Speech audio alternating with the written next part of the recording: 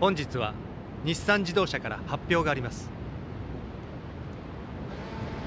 突然ですが今私を照らしているこのライト実は電線もコンセントも不要なんです。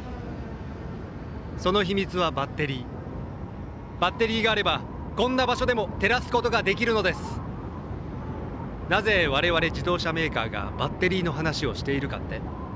2018年私たちは世界に先駆け電気自動車のバッテリーを本格的に再利用するプロジェクトをスタートさせます。そして開発されたのがこのライト。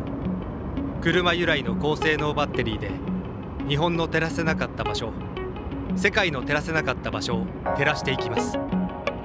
極端に言えば雲の上だって。これはライトの話にとどまりません。